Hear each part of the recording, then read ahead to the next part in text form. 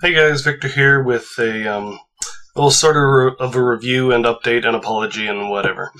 Uh, basically, I was intending to get a couple of reviews done this month for the extended Halloween because I didn't want to repeat last month where I had it all in the last few days of December.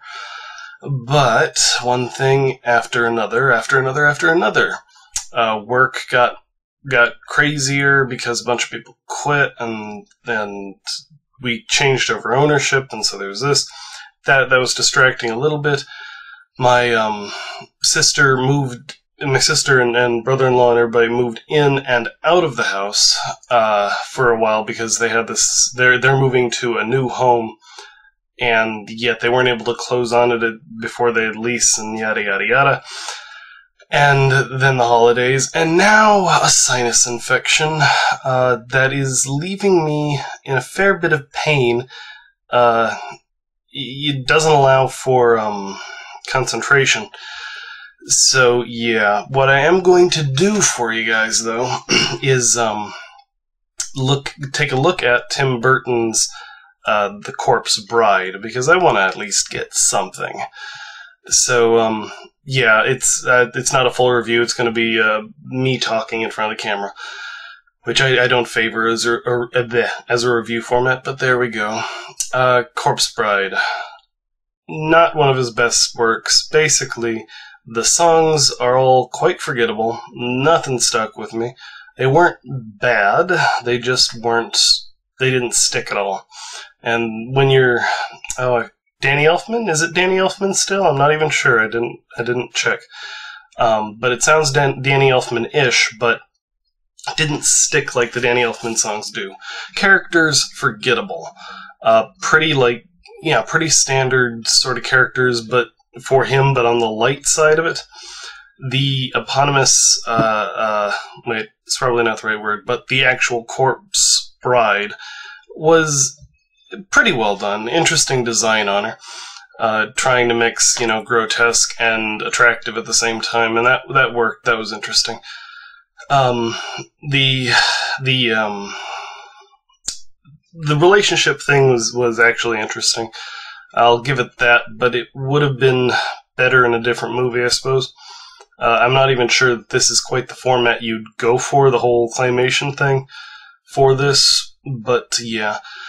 The ending, uh, kind of anticlimactic in some respects because it, it had elements of a cop out to it. But uh, yeah, um, so that's my thoughts on Corpse Bride. I really wish I had more to add to this, but uh, yeah. anyway. Um, okay, you can stop listening now, but I will recount something funny about the the sinus infection. I just thought I was having you know some uh, pressure there. Oh, oi until finally after work one day it was just too much to bear, and I finally go to the uh, doctor. And I find out that I haven't gone to the doctor in four years, and I need to be treated as a new patient. I need to have a pre-checkup checkup. Um, and so, yeah, they said, okay, yeah, we can't help you till next week. I'm like, eh. And so they said, uh, go to this place a few cities over that way, um, to the, uh, to the to a pharmacy slash clinic, and, and I'm like, okay, I can just do a walk in there, and they're like, yeah. So I go over there in pain, and they say, and they um they say, oh, we don't do headaches here, and I'm like, yeah.